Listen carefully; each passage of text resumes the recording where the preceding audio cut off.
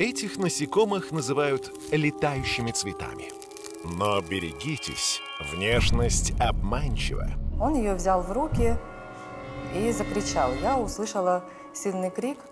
Они яркие и безобидные, но их замыслы коварны и враждебны. Она любит шерсть. Но если шерсти нет, она приспособится, будет есть и шелк. Проникнув в ваш дом, они начнут стремительно размножаться и поедать все на своем пути. Смотрим, летают какие-то мошки. Знаете, с такой скоростью, что даже не поймать. Они невелики, но чрезвычайно прожорливы.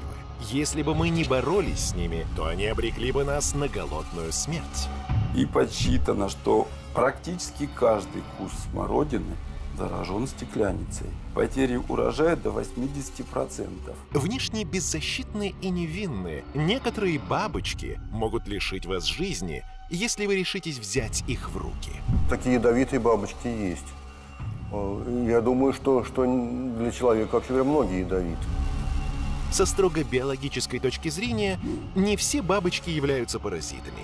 Но они идеально соответствуют греческому смыслу слова «паразит» — сотрапезник. Они питаются рядом с нами, а иногда и нами. И то, как они это делают, близко к совершенству.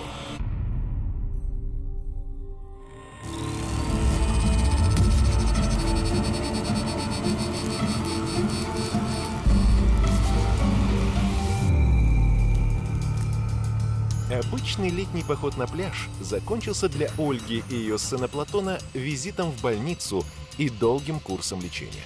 Я отдыхала, загорала, а ребенок гулял и нашел где-то гусеницу.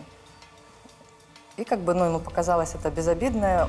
Сдержать любопытство Платон не сумел и горько поплатился за это. Она прикольная такая была, волосатая, но я почему-то думала, что она была пушистой. Схватил ее, а она будто раскаленная. Всего одного недолгого прикосновения к гусенице хватило, чтобы юный натуралист получил сильный химический ожог. У личинки нашлись способы постоять за себя. Да, да, вот была припухлость, покраснение. И как бы мы сразу поехали домой. Дома я ему наложила бальзам на руку, как бы все. Боль не утихала, а отек расползался на всю руку, хотя с момента контакта прошло больше суток. Интерес к природе обошелся дорого. Да, он жаловался, что рука у него болела. Ну, пришли, обратились к доктору. Доктор сразу сказал, что гусеница была ядовитая, и вот э, посоветовал нам антигистаминные и обезболивающие средства. Личиночная стадия бабочки, гусеница, не имеет крыльев, не может убежать от врага, поэтому вынуждена защищаться от всякого, кто пожелает ее съесть. А желающих в дикой природе хватает. Поэтому способы защиты иногда весьма изощренны. Ну как же, птицы вроде клюнуть, а, а тут ей в морду такое чудовище смотрит. Бу- Буквы велохвост. Ну какая гусеница? Это надо на картинке смотреть. Она вообще ни на что не похожа. Я видел эту гусеницу и боялся взять ее в руки. Некоторые гусеницы не ограничиваются пассивной защитой и при необходимости могут убить своего потенциального обидчика. И вот некоторые семейства, например, походных шелкопрядов, плюс, значит, слизневидки, лимакодиды, вот, то есть если дотронешься даже случайно, то получаешь очень сильный химический ожог. То есть это очень болезненно и, прямо скажу, очень неприятно. Со мной несколько раз такое проходило. Они очень красивые, они прямо такие, ну вот так и хочется потрогать. Вот, но нельзя их в руки брать. Каждая щетинка мохнатой гусеницы – это, по сути, полая игла, в основании которой находится железа, вырабатывающая яд, по силе действия сравнимой с токсинами некоторых змей. Вонзаясь в кожу, такой ядовитый шприц обламывается, загрязняя рану и вызывая риск воспаления. Но даже невинно выглядящие безволосые гусеницы полны неприятных сюрпризов. Голые гусеницы, ну, в общем, есть ядовитые гусеницы. Вот, это те гусеницы, которые, ну, в общем, питаются на таких, на растениях, которые содержат алкалоиды. Вот, например, папиллиониды какие-нибудь. Я думаю, что птица, если ее склюет, то будет, в общем, не очень приятно. Хотя я на вкус не пробовал. За свою жизнь Бабочка проходит три стадии развития. Яйцо, гусеница, куколка и имаго – взрослое насекомое. И на каждой ступени развития у нее есть чем защититься от опасностей внешнего мира. Но успешная защита – лишь одна из причин процветания этих насекомых. А в том, что бабочки процветают, сомневаться не приходится. Бабочки. Бабочки – это один из самых крупных отрядов насекомых. Вот в настоящее время описано примерно 165 тысяч видов мировой фауне. Но это совсем, в общем, такая приблизительная цифра. Эх вы, нелепо шагающие по земле прямоходящие мартышки. Даже подсчитать нас точно не можете. Это потому что мы освоили Землю гораздо раньше и лучше вас. Когда ваши предки только робко спускались с деревьев, мы уже парили на планете и продолжаем делать это до сих пор. Бабочки освоили все климатические зоны, от тропиков до Арктики. За северным полярным кругом, где вы кутаетесь в теплую одежду, живет наша представительница – перламутровка полярная, которой не страшны холод и долгая зима. Вы думаете, мы неторопливо порхаем от цветка к цветку? Это не так. Мы стремительные летуны. Скорость некоторых бражников превышает 5 метров в секунду. Попробуйте угнаться. Да, нам даже обогнать вас не надо. Мы просто превзойдем вас числом. Бабочка в среднем откладывает за свою жизнь тысячу яиц. И нас не смущает, что до 70% нашего потомства погибает, не достигнув зрелости. С нами не справишься запросто. Наша самая маленькая представительница – моль ацитозия. Размах ее крыльев всего 2 мм. А с самой крупной не всякая птица совладает. Крылья павлиноглазки атласа раскрываются на 30 сантиметров. Ваши раболепные друзья-собаки, которые так гордятся своим нюхом, даже сравниться не могут с нами. Самец шелкопряда распознает запах самки, если одна ароматическая молекула приходится на квадриллион молекул воздуха. И еще мы чувствуем вкус ногами. Именно там, в лапках, находятся наши рецепторы. Это вам приходится всюду тянуться своими короткими языками. И что, глупые приматы, чей организм совершеннее? История жизни и развития бабочки напоминает то ли детектив, то ли сказку с чудесными и немного пугающими превращениями. Начинается все с яйца. Единого мнения о том, как заботиться о потомстве, у бабочек нет. Есть группы, которые просто разбрасывают яйца в полете самка. Например, у тонкопрядов. Вот, то есть самка, оплодотворенная самка, летит просто так, как они живут в почве, питаясь корешками растений, она просто выбрасывает сотни тысяч яиц. Они очень мелкие, и там гусеница уже развивается.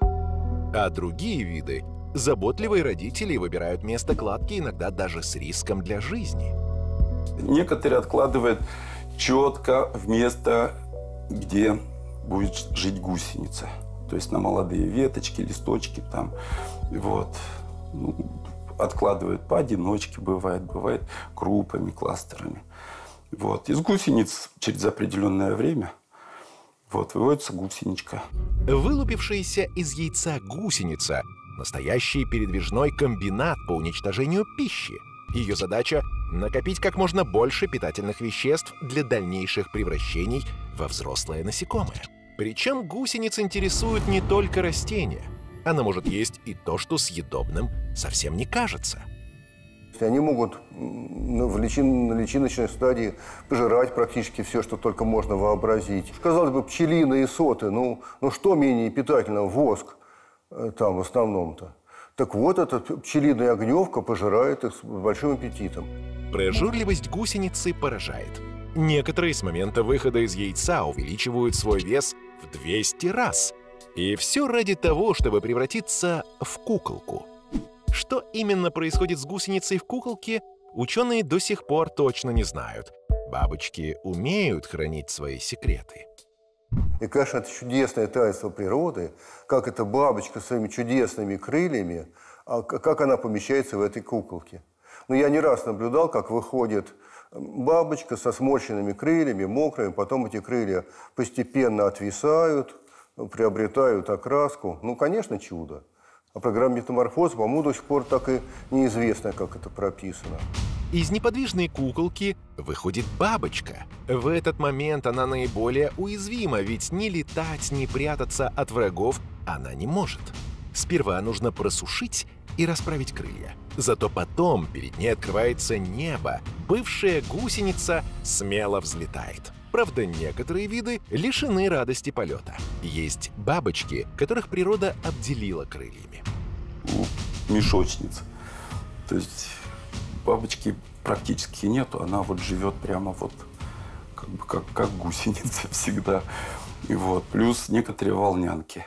Тоже бабочка не выходит прямо в коконе. Остается куколка.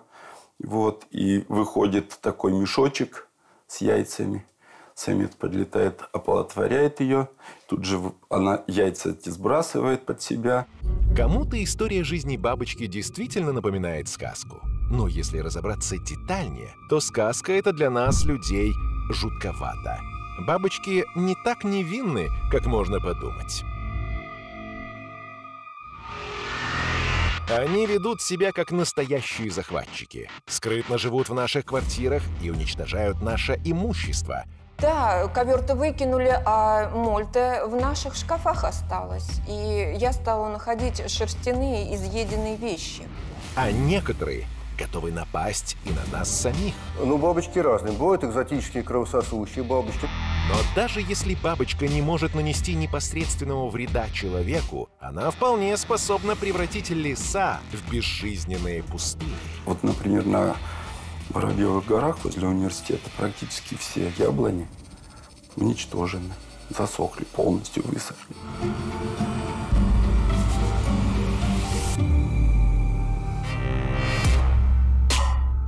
От нашествия прожорливых личинок бабочек не застрахован никто. Им достаточно проникнуть в вашу квартиру, а что съесть, они найдут. Ей все равно, в каком санитарном состоянии помещение. Она может жить в элитной квартире, она может жить в бараке, где рабочие там какие-то. Ей все равно. Собранный нами урожай они считают своим. И чем припасов больше, тем многочисленнее их потомство. Потогневки, они наносят очень серьезный ущерб нашим запасам зерновым. Это проблема. Ученые признают, что бабочка – серьезный противник, но на вопрос, как с ним бороться, лишь разводят руками. Ну, конечно, э, непарный шелкопряд и сибирский шелкопряд, которые вообще гектары леса просто выедают. И там непонятно, как бороться.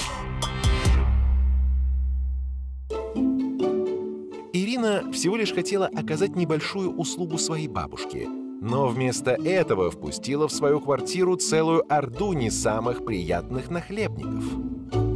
Пару лет назад мы решили сделать ремонт в квартире у бабушки. Перевезли ее вещи на склад, но некоторые, которые самые необходимые и любимые ею, да, мы взяли к себе. Очень она переживала за ковер, ну, любила его.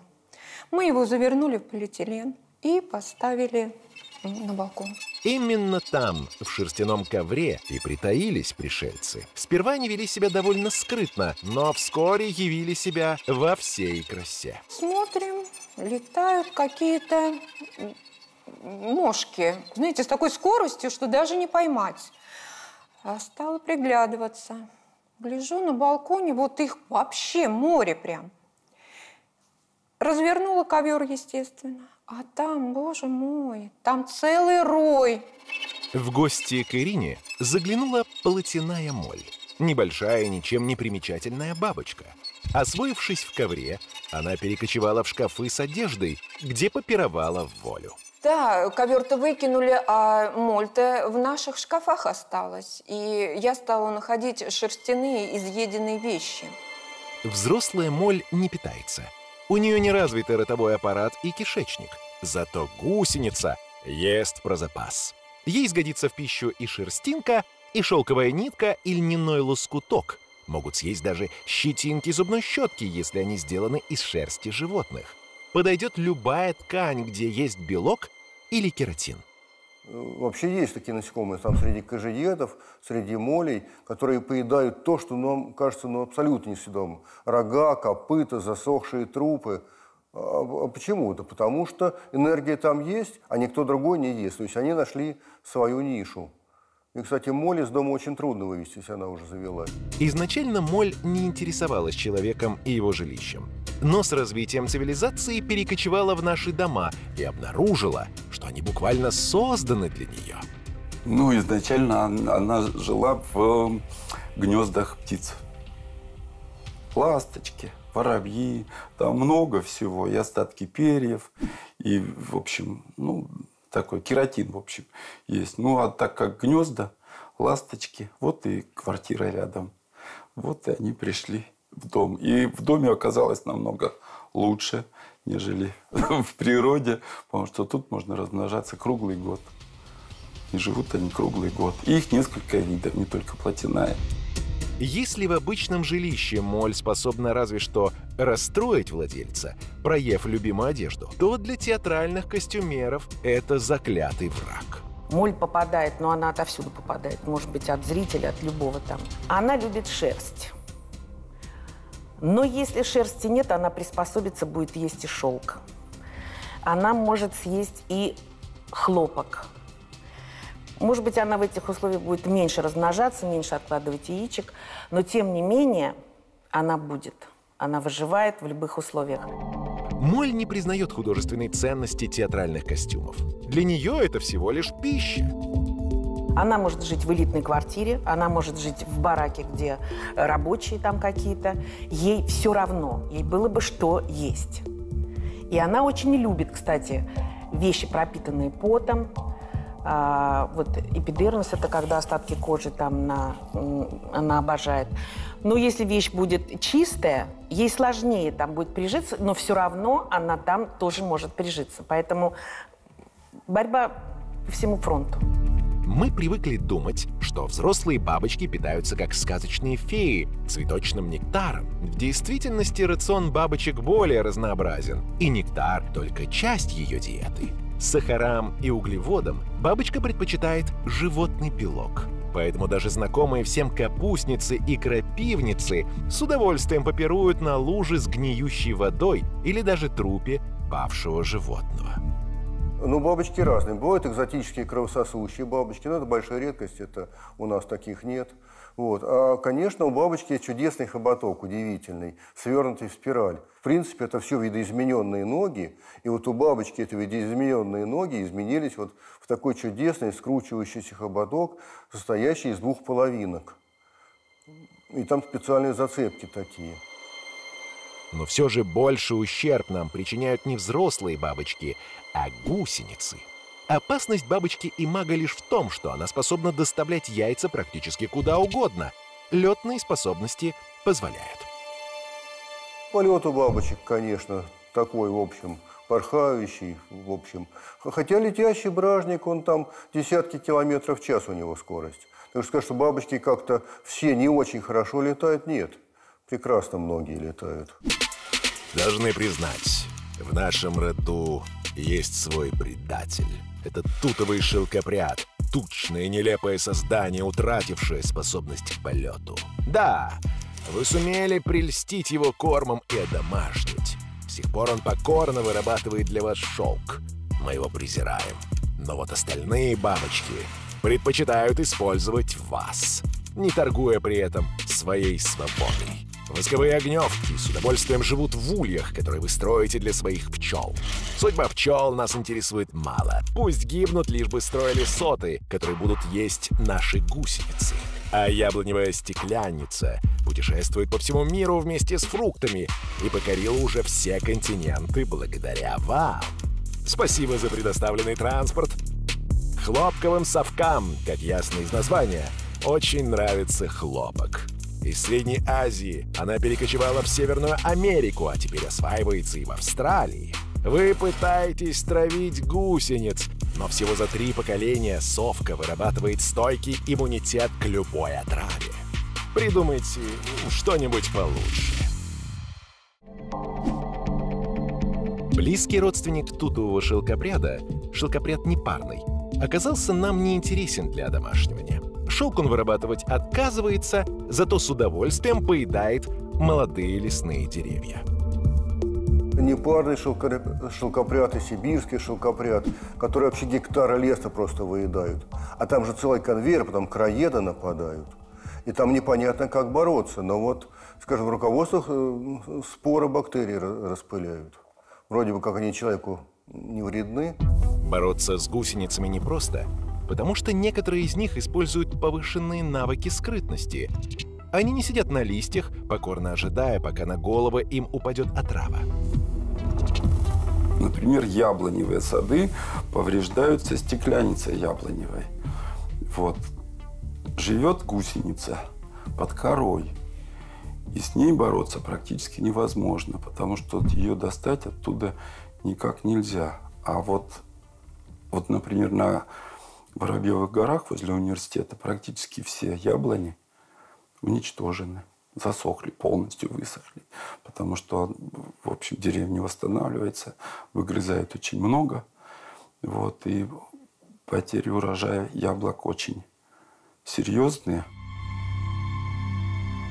Яблоневая огневка – Вредитель для наших широт привычный и знакомый, но на помощь ей уже спешат экзотические пришельцы, еще более опасные и непредсказуемые. Вот где-то, наверное, с 2014 года действительно на южный берег в общем, Кавказа, в районе Сочи, завезли самшитовую огневку. Она съела весь самшит. И не только на Кавказе, и в Крыму.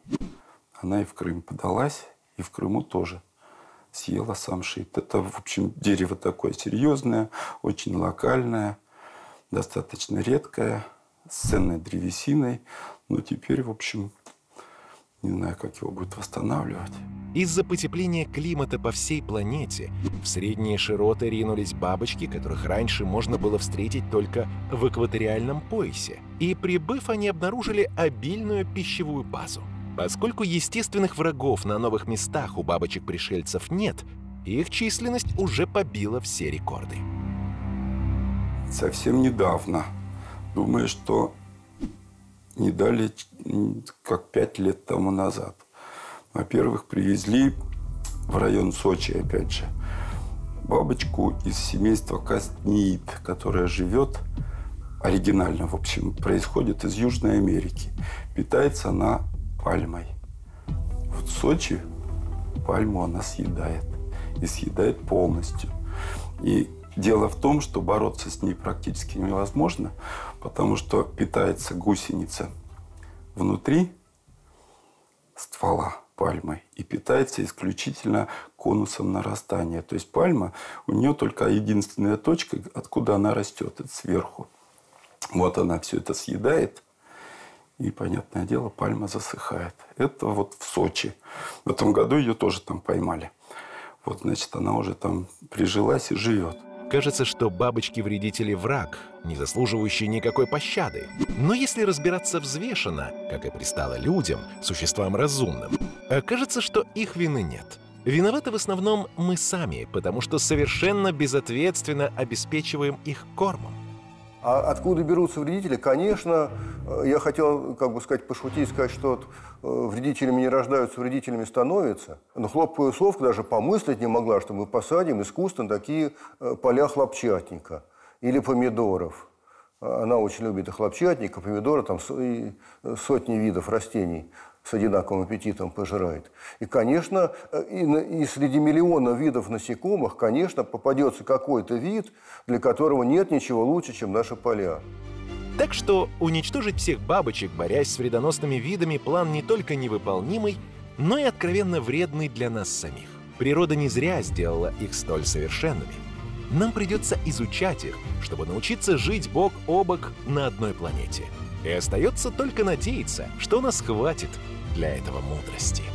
То есть насекомые – это, понятное дело, пища для птиц, для грызунов, для присмыкающихся. То есть если мы хоть один вид уничтожаем, то, понятное дело, за собой это влечет то есть, довольно серьезные последствия.